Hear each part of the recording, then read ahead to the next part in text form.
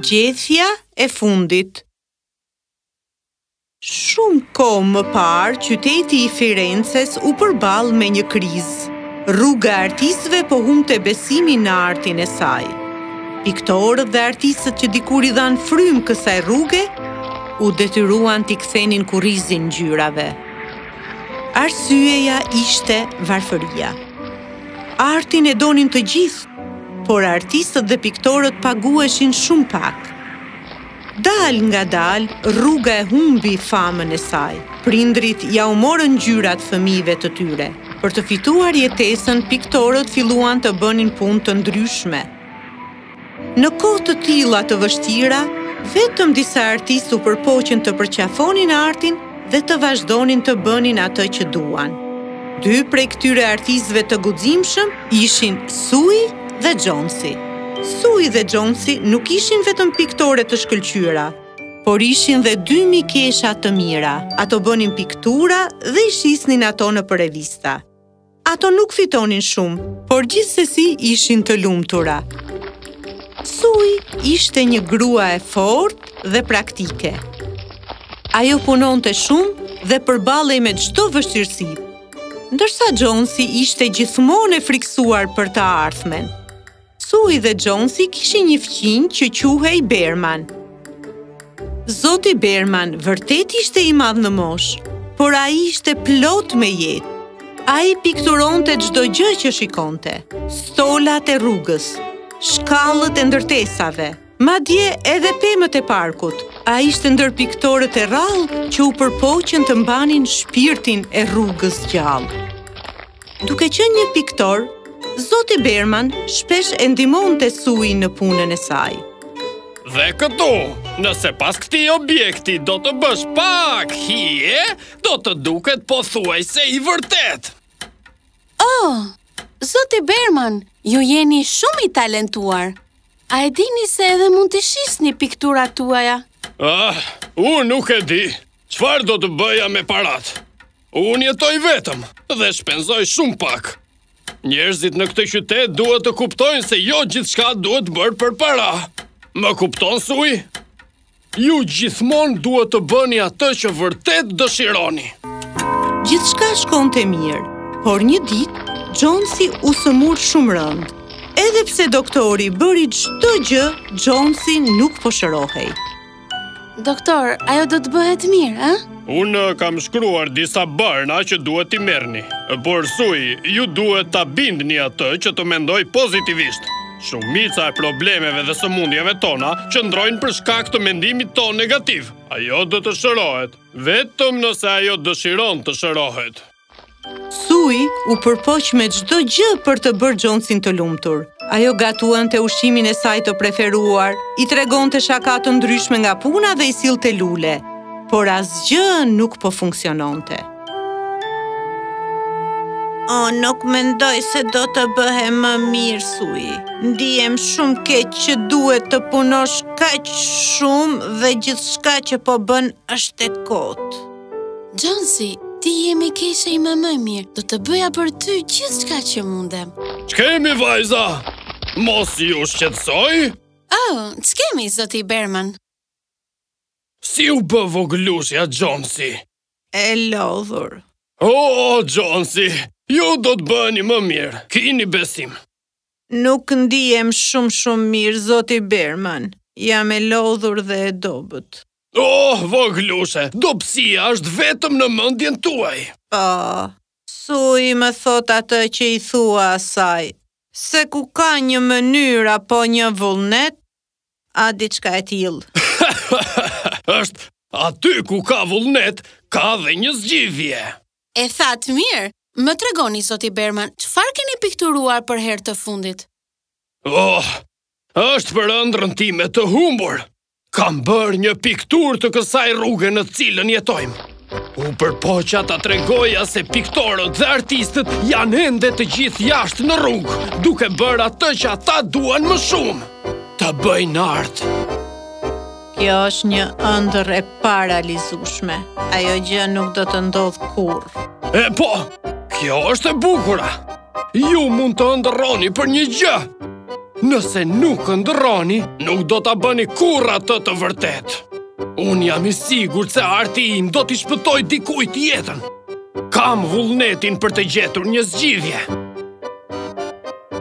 Arti është shumë i fuqishëm, vajza ime. Fuqia e artit mund të bëjë atë që mjekët nuk mund ta bëjnë. Gjithmonë një artist duhet të ketë besim dhe të mendojë pozitivisht. Hë, pra tani Xhonsi, mos vazhdo të rrish kaq e trishtuar. Hmm. Çfarë po shikoni aty, Xhonsi? Bima e dredhësës që rritet në atë mur është e vetmja gjë që më jep pak lumturi. A nuk është kjo një gjë e mirë?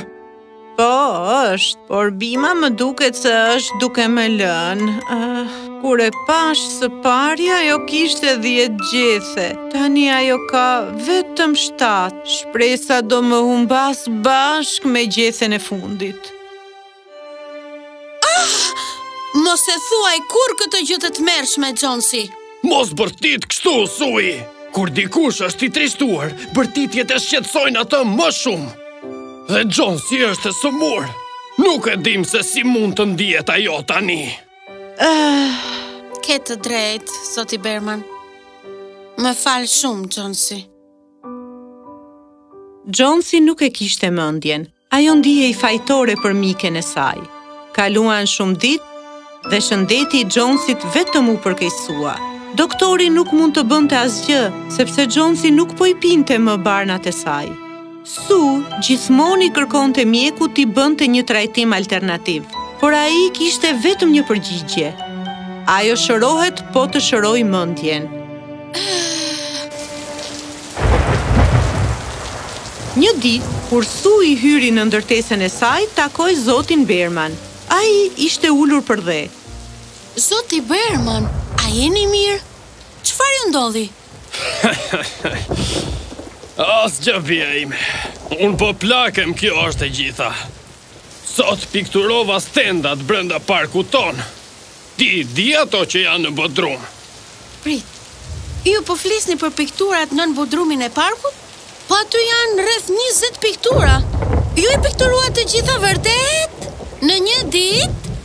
Po ajo është një punë kolosale. Dhe në gjithë këtë shi. E të gjitha ndodhen nën bodrum. Ah. Kisha harruar të merrja ombrellën time. E sheh, unë po plakem, kjo është e gjitha. O, zoti Berman, ju e dini që në këto ditë po qarkullon një epidemi. Duhet të kujdesesh për veten më shumë. A keni ethe? Ju nuk më dukeni mirë. A të thërras doktorin më mirë? Oh, jo, jo. Ju bëni shumë pyetje, vajza ime.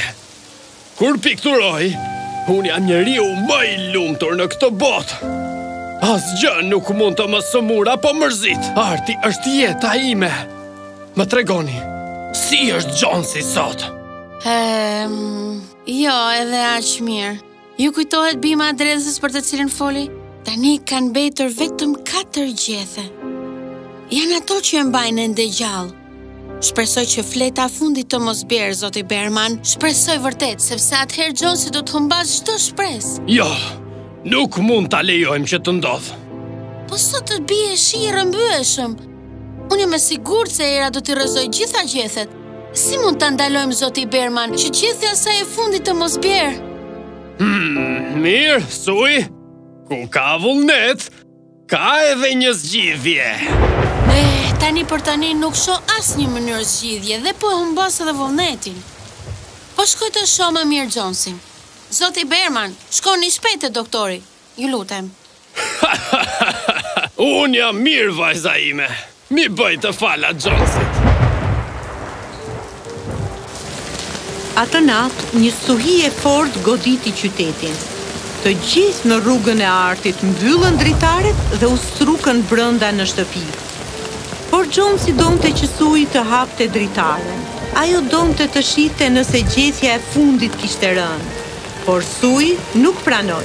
Shëndeti i Xhonsit mund të përkeqësohej, sepse nëse hapej dritarja, era dhe shiu do të hynin brenda. Xhonsi pranoi. Por ajo nuk e dinte se edhe Sui ishte e shqetësuar për gjethen e fundit. Të nesërmen në mëngjes, Dielli ndriçonte me shkëlqim. Stuhia e shiu kishin ikur. Sui e dinte se ajo duhej të hapte dritaren tani, sepse nuk mund t'i mbante më të mbyllura. Ajo mbylli sytë dhe hapi perdet. Por u befasua! Ahhaa! Xhonsi, gjethja e fundit është këtu! Çfarë? Kjo nuk ka mundësi! Si vazhdon të qëndrojë ende? Është vullneti i gjethes, Xhonsi. Pikërisht ashtu siç tha zoti Berman. Ke të drejtë. O, oh, Su. M'i sillni barnat. Nëse ajo gjethe përballoi stuhinë, pse nuk mundem unë? Do të gjej si të shërohem. Oh, Xhonsi, do të të jap gjithçka çfarë të duhet. Çfarë dëshiron? Arti është shumë i fuqishëm, vajza ime. Fuqia e artit mund të bëjë atë që mjekët nuk mund ta bëjnë. Beso! E di se çfarë dua. Më sillni kanavacën dhe disa ngjyra. Lumturia e Suit nuk njihte kufi. Ajo nxitoi dhe i solli të gjitha ngjyrat që kishte. Ajo vuri kanavacën pranë shtratit të Xhonsit dhe kjo gjë e lumturoi shumë. Me kalimin e kohës, Xhonsi u shërua plotësisht. Doktori dhe Sui u habitën shumë. Ajo nuk fliste më për dobësitë e shëndetit apo çfarë nuk mund të bënte në jetë. Në fakt, ajo tani fliste për ëndrrat e saja të reja. Dua të pikturoj urën e Londrës. Jam e sigurt që një ditë do ta bësh. Ku është zoti Berman, Su? Kam kaq kohë pa e parë. Ah, më vjen mirë që pyete për të Xhonsi. Doja t'ju tregoja këtë pasi të ishit shëruar plotësisht. Zoti Berman nuk ishte mirë me shëndet, edhe për shkak të moshës së tij të vjetër. A të kujtohet nata e stuhisë me breshër? Ai herët në mëngjes, u sëmur shumë rëndë. Çfarë, ai shkoi te mjeku, apo jo? Po ti e di si është zoti Berman. Më kujtohet mirë kur tha, nëse ai pikturon, asgjë nuk mund ta sëmurë. Çfarë do të thuash? Ja ku është gjethja e fundit në mur, Xhonsi. Është ende atje. Ajo nuk ka lëvizur as edhe pak. Atë e pikturoi atë natë. Zoti Berman ishte me të vërtetë një piktor i madh. Në mëngjes filloi të dridhej. Njerëzit e morën dhe e çuan në spital. Unë e takova atë një ditë më pas dhe ishte aq i lumtur. U ndje i lehtësuar kur i thashë se ju e morët veten. I thashë se gjethja e fundit e bimës së dredhëzës ju kishte dhënë forcë. Ai s'është më mes nesh, Xhonsi. Jo! Oh, jo!